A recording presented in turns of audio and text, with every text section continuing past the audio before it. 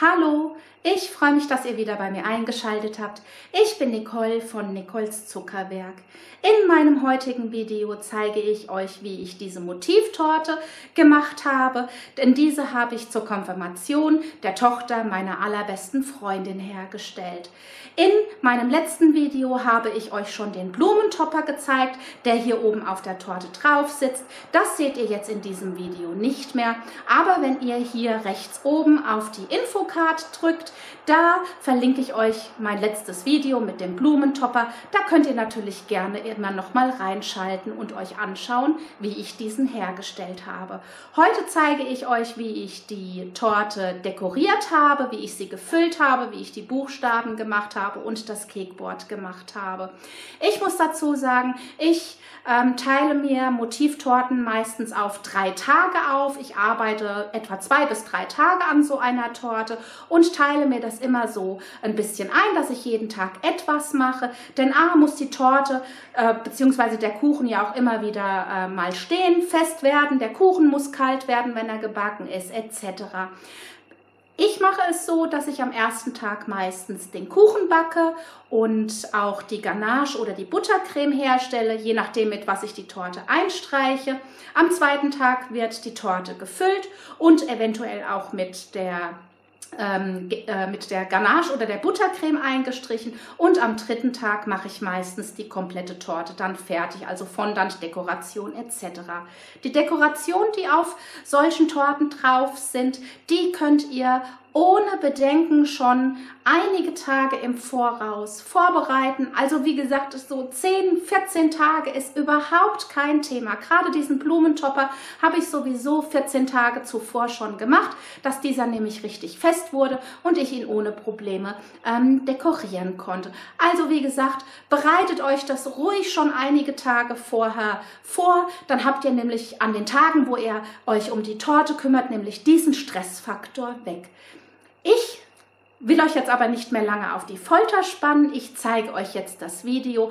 Schaut's auf jeden Fall bis zum Schluss, ähm, damit sich eventuell alle eure Fragen beantworten. Wenn ihr dennoch Fragen habt, nutzt einfach die Kommentarfunktion. Da könnt ihr mir die Frage reinschreiben und ich beantworte sie euch gerne. Und nun wünsche ich euch viel Spaß bei meinem Tortentutorial.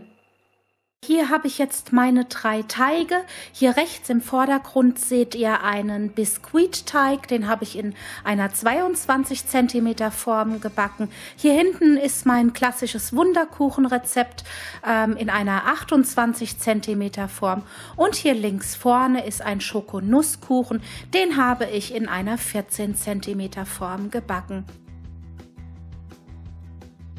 Hier habe ich auch schon die Cakeboards zugeschnitten. Die sind genau auf die Größe meiner Kuchen zugeschnitten. Ich habe jetzt meine Kuchen richtig gut abkühlen lassen. Am besten backt ihr sie schon an einem Tag zuvor. Und am zweiten Tag habe ich sie hier dann gefüllt. Dieses ist jetzt hier der unterste Kuchen, ähm, den ich mit einer ähm, Pfirsich-Maracuja-Füllung äh, gefüllt habe. Das Weiße, was ihr hier auf der Torte seht, das ist äh, Saftstopp. Das habe ich bewusst gemacht, weil die so eine Motivtorte muss ja doch mal zwei Tage halten, dass sie nicht so äh, durchweicht. Am Rand habe ich natürlich eine fondant-taugliche Buttercreme gespritzt. Ähm, wie ihr das macht, verlinke ich euch nochmal in einem Video. Da seht ihr das nochmal ganz genau. Ähm, dann dieses mache ich einfach, weil die Füllung nicht fondant-tauglich ist und so mit dieser Buttercreme ist diese Pfirsich-Maracuja-Creme richtig gut nach außen hin abisoliert. Hier gebe ich jetzt nochmal auf die Oberfläche die Buttercreme, die streiche ich jetzt nochmal glatt und dann wandert mein Kuchen für etwa eine Stunde zum Festwerden in den Kühlschrank, bevor ich sie dann komplett mit der Buttercreme einstreiche.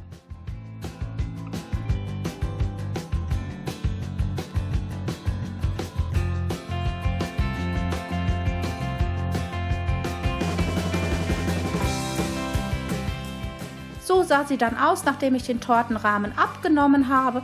Ich bestreiche sie jetzt komplett mit der Buttercreme. Ich zeige euch das hier in diesem Video jetzt nur im Schnelldurchlauf, weil einfach sonst das Video viel zu lange wird. Und ich habe dazu noch ein separates Video, was ihr jetzt auch verlinkt bekommt. Da könnt ihr euch das nochmal ganz genau ähm, anschauen.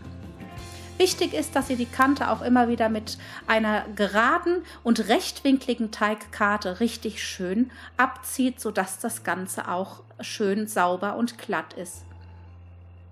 Hier oben das, was jetzt übersteht, geht wunderbar mit einer Winkelpalette weg und so arbeitet ihr die erste Schicht. Dann wandert der Kuchen für etwa 15 bis 20 Minuten wieder in den Kühlschrank. Dann ist die Buttercremeschicht fest und dann könnt ihr noch eine zweite oder vielleicht auch noch eine dritte Schicht drüber arbeiten. Hier gehe ich jetzt dann auch zum Fondant eindecken der Torte. Ich habe die jetzt ja in mehreren Schichten mit Buttercreme eingestrichen und nun steht sie im Kühlschrank. Ich rolle meinen Fondant hier jetzt richtig schön dünn aus, nicht zu dick. Und achte natürlich auch drauf, dass ich keine Luftbläschen im Fondant habe und stelle das Ganze jetzt hier auf meinen Drehteller. Ich hatte das jetzt mit Folie abgedeckt, damit die Buttercreme mir nicht austrocknet und so kleide ich jetzt die Torte mit dem Fondant ein.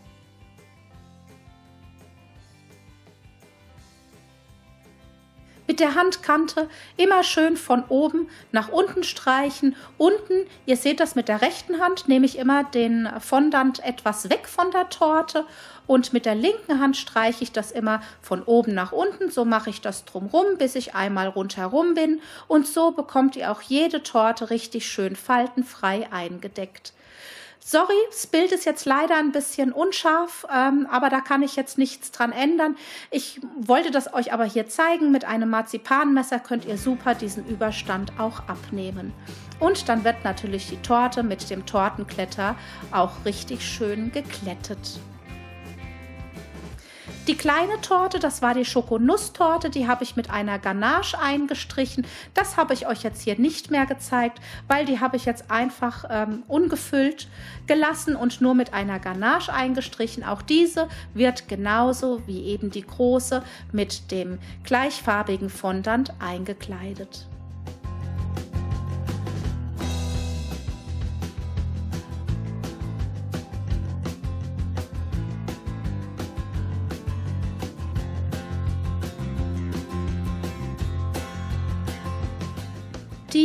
Mittlere Torte, die habe ich mit einer Himbeercreme gefüllt. Und das zeige ich euch jetzt auch hier. Ich habe hier auch schon meine Biskuits ähm, schon durchgeteilt und tränke diese jetzt nochmal mit Orangensaft, sodass sie auch richtig schön saftig sind und spritze auch hier, wie bei der großen Torte, natürlich einen Buttercremerand, weil die Himbeerfüllung nämlich nicht mit dem Fondant in Berührung kommen darf.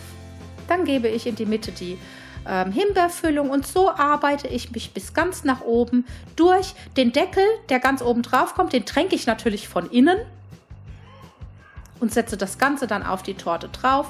Und auch diese wandert jetzt erstmal in den Kühlschrank, bevor sie dann äh, mit Buttercreme eingestrichen wird, was ihr jetzt hier schon im fertigen Zustand seht. Ich habe mich entschieden, diese Torte mit einer Buttercreme-Bordüre zu verzieren und dazu markiere ich mir etwa im zweieinhalb Zentimeter Abstand erstmal Linien und nehme hier diese Tülle setze die jetzt mit dieser dicken Seite an die Torte an und fahre jetzt hier an meinen Strichen von links nach rechts. Die Striche habe ich jetzt einfach nur vorher gemacht, damit meine Rüsche nämlich auch richtig schön ähm, gleichmäßig wird. Und so fahre ich jetzt von unten bis ganz nach oben durch.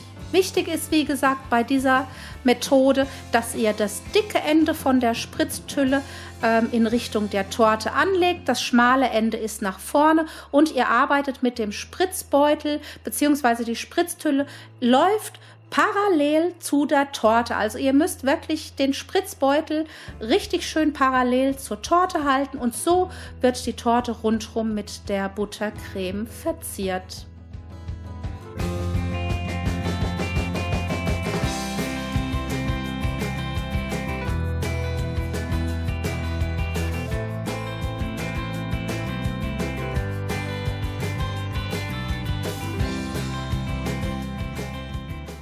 Als meine Torten dann soweit fertig waren und kühl standen, habe ich hier mein Cakeboard vorbereitet. Hier habe ich eine 10 mm Kaperplatte mir zurechtgeschnitten und diese verziere ich jetzt mit einer Sugarfile die ich mir schon ein paar Tage zuvor vorbereitet hatte. Das klebe ich jetzt einfach mit Zuckerkleber hier auf das Cakeboard drauf. Wichtig ist auch nur am Rand. Ihr seht, es ist jetzt in der Mitte hin, wird selbstverständlich ein bisschen faltig, aber das ist nicht so schlimm, denn da steht die Torte drauf. Diese Falten drücke ich jetzt einfach zusammen und schneide das mit der Schere ab. Und wie gesagt, nachher steht die Torte drauf und dann sieht man das auch nicht mehr.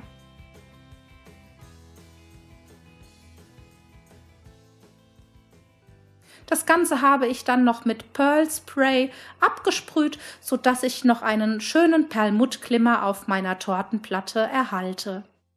Zum Tortenaufsetzen habe ich in der Mitte jetzt erstmal etwas Ganache aufgestrichen und habe jetzt erstmal die große Torte hier drauf gesetzt. Und dann habe ich mit dem Tortenrahmen, mit dem ich die mittlere Torte gebacken habe, mir genau die Mitte markiert, denn das Ganze muss gestützt werden und damit ich die Stützen auch an passender Stelle ähm, reinsteche und damit man sie nachher nicht sieht, habe ich es mir vorher anmarkiert, wie groß die mittlere Torte ist und dann habe ich hier mir entsprechend meine Tortendübel mit einem Sägemesser zurechtgeschnitten. Vier Stück an der Anzahl, die stecke ich jetzt hier hinein auch hier, damit die Torte anklebt, etwas Schokoladenganache und dann kann die mittlere Torte auch schon aufgesetzt werden. Und genau dasselbe arbeiten wir natürlich auch mit der dritten Etage. Der Unterschied nur hier, hier nehme ich keine Tortendübel mehr. Hier nehme ich einfach nur Strohhalme, weil die obere Torte ist ja meistens relativ leicht oder sie war bei mir jetzt relativ leicht und da haben die Strohhalme zum Stützen vollkommen ausgereicht. Im nächsten Schritt habe ich dann hier die gelbe Bordüre gemacht, die um die obere und untere Torte noch drumherum kam. Hier hatte ich ein äh, Pad mit erhabenen Blumen. Das drücke ich hier einfach auf meinen nicht zu dünn ausgerollten Fondant auf.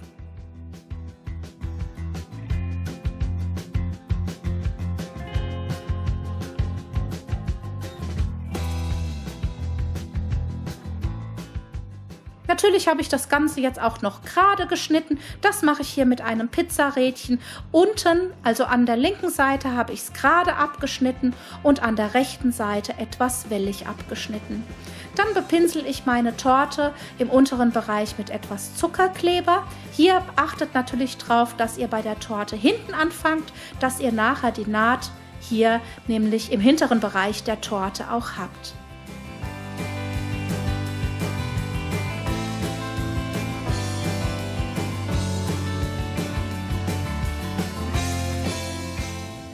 Nächsten Schritt habe ich mir dann äh, Buchstaben ausgestochen. Hier habe ich äh, Blütenpaste genommen, die ich mir nicht zu dünn und nicht zu dick ausgerollt habe. Das sind Buchstaben, die funktionieren am besten mit Blütenpaste. Ich steche das hier aus und lasse diese Buchstaben, so wie ihr das jetzt an der rechten Seite seht, etwa eine halbe, dreiviertel Stunde liegen. Und jetzt sind die auch etwas angetrocknet und dann lassen die sich auch super mit einer Nadel, ich nehme jetzt hier eine Modelliernadel, ihr könnt auch eine Stecknadel verwenden, ähm, hier super kann man die dann auch rauslösen.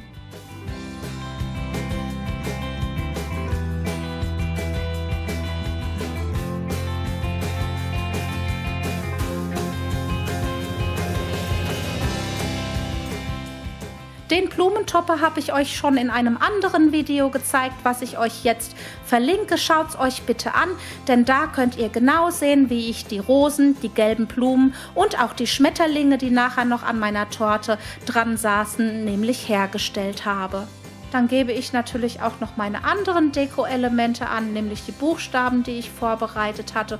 Und von meinem Blumentopper hatte ich auch noch ähm, einige Blumen übrig, die ich dann natürlich auch noch an diversen Stellen auf der Torte verteilt habe.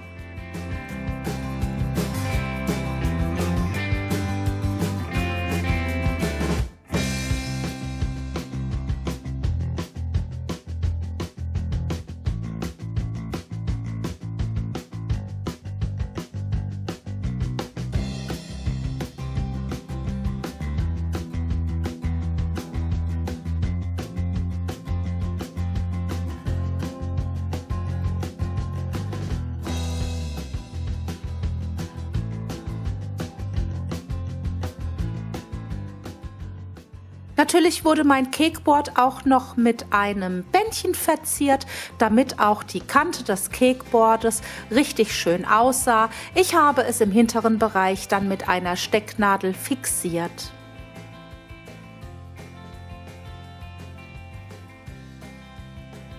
Zum Schluss habe ich noch hier ein Perlenbändchen gemacht. Hier ein Perlenbändchen. Wenn ich richtig informiert bin, kommt das aus dem schwedischen Bereich. Die bunten Perlen, die haben alle eine verschiedene Bedeutung. Und meine Freundin wollte natürlich, dass dieses Perlenbändchen auch noch mit an die Torte kommt. Und so habe ich natürlich wie in meiner Vorlage aus Fondant ähm, die Perlen geformt. Ich habe sie mir erstmal hier locker auf meine Arbeitsplatte aufgelegt, bevor ich sie dann zum Schluss ähm, an die Torte angeklebt habe.